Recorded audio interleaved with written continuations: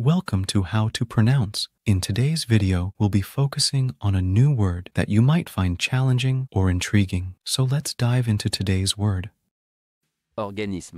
which means A living system with organs, cells, capable of responsive biological processes. let's say it all together. Organisme. Organisme. Organisme. One more time. Organisme. Organisme. Organisme. Thank you for joining us on this adventure in pronunciation. Remember, language is a journey, not a destination. Keep exploring, experimenting, and expanding your linguistic horizons. We'll see you next time.